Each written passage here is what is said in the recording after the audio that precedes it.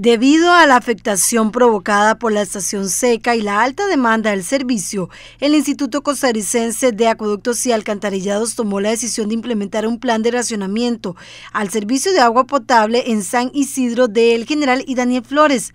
La intención es cerrar las válvulas importantes a partir de las 6 de la tarde para recuperar niveles requeridos de agua en los tanques de almacenamiento y esas se abrirán al siguiente día a partir de las 5 de la mañana para contar con el servicio de agua potable durante el día. Este programa de racionamiento que empieza a partir de hoy lunes 21 de marzo y hasta el 31 de marzo, si Dios lo permite, porque ahí tenemos que ir viendo el comportamiento. De, los niveles de los tanques es por la estación en la que nos encontramos, que realmente es una estación, eh, el verano está, nos está perjudicando mucho en la producción de las nacientes, de las fuentes, en las captaciones, y por lo tanto se tiene que hacer un racionamiento que va a ser eh, a partir de hoy a las 6 de la tarde, y abrimos válvulas el día siguiente a las 5 de la tarde para que todos los usuarios cuenten con el líquido durante el día. Los barrios afectados son San Francisco de Asís, calle Nazaret, Dorabando, Terramía, Las Lagunas, El Percal, Urbanización Roaming, Montelindo, El Silencio, Quebrada Honda, El Peje, Barrio Los Ángeles, Baidambú, Monte General, el sector del centro penitenciario, La Trocha, Palmares, Repunta, la Junta de Pacuar, Barrio Lourdes, Los Chiles y Daniel Flores, el lado este de la carretera interamericana. Eh, eso es porque el tanque Los Chiles eh, no recupera los niveles que se requieren para que la gente tenga el servicio de agua potable en sus casas.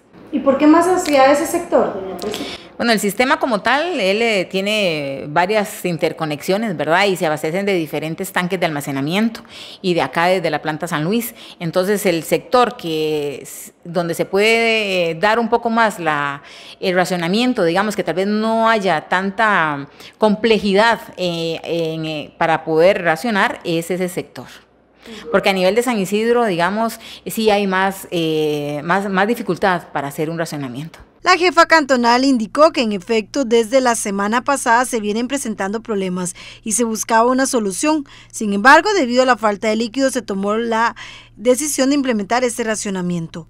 Debido a este problema, este lunes se distribuyó agua en Barrio Lourdes, Los Chiles y La Trocha, debido a que esos sectores han sido afectados mayormente por la situación. Bueno, sí, realmente la semana pasada tal vez sí se ha dado en algunas horas del día el faltante de agua. Eh, sin embargo, a nivel de operación de la cantonal de Pérez Celedón, eh, se hacen los mayores esfuerzos, entonces se hace valvuleo, eh, que consta en, digámosle, en, cerrar un poco las válvulas, tal vez menos vueltas, más vueltas, como dicen a nivel técnico, ¿verdad? De las válvulas y entonces ha tratado de, de, que siempre tengan agua, tal vez no con la fuerza que a la gente le gusta, ¿verdad? El caudal que llamamos, ¿verdad? Mucha presión, pero que tengan. Sin embargo, este fin de semana sí se vio un poquito más afectado eh, por, por la situación del verano. Con la implementación de la nueva planta en Miraflores, ese problema no se presentaría con frecuencia.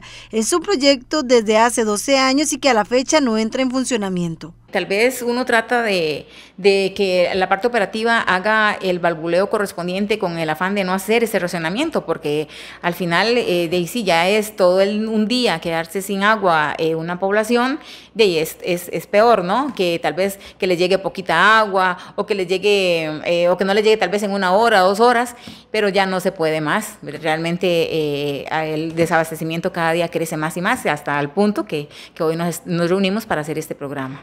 Y es que también ahí es la carencia también del funcionamiento de la nueva planta, que eso vendría a solventar problemas como este.